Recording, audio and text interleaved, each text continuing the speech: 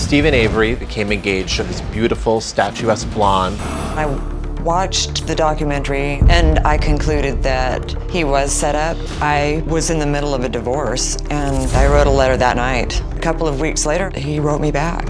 What was your reaction when you got the letter? I was speechless. When I first saw him, he looks like the sweetest little teddy bear I've ever seen in my life. Within the first month, he was telling me he knew that he wanted me to be his wife. My ex-husband was a police officer, and now I'm seeing a convicted murderer in a prison. Isn't I've been with a cop, I'm gonna go with a criminal. yeah. He's on the phone now calling from Waupun Correctional Institution in Wisconsin.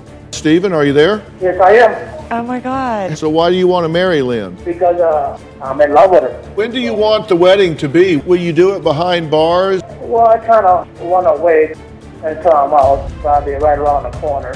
Your ex-fiance Jodi was saying that you were abusive to her and that she was scared for her life. What do you say about her saying that she had to eat rat poison to get away from you? That says it all in, Well, in a nutshell. All, that's all false information. So Lynn has nothing to worry about as far as you being abusive or violent with her, correct? Oh, yeah, that's 100% correct. One of the things that he would like to do is to get out and for the two of you to just go off into the woods to live alone.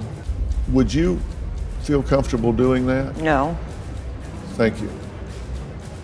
You have to understand that giving everything that surrounds this, this is a high risk candidate. If you say there is zero chance that he's guilty of this crime, you are naive.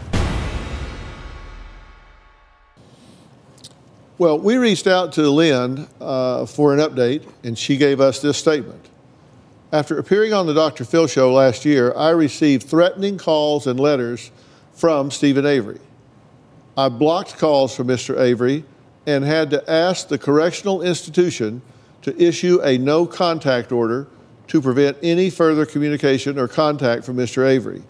The threatening letters were so graphic and evil that I no longer believed Mr. Avery was innocent of the crimes he was convicted of, so I ended the relationship October 1st, 2016. I have taken many measures to ensure my safety and the safety of my family by alerting law enforcement and reporting the threats to the authorities. What do you say about that? Yeah, I can't co- comment about some woman who, who you know, has never met anybody who writes to him in prison and decides she wants to, to marry him. Um, you know, she's got some issues of her own. It's simply false that, that he has this long history of women that he's been abusive to. You saw these letters that he wrote to his ex-wife where he's very angry. Um, but that's because he's gone through a divorce and she's then said, I'm not going to bring your children to visit you. Imagine this guy, he's in prison wrongly convicted, and she's now refusing to take the kids there. Of course he's angry.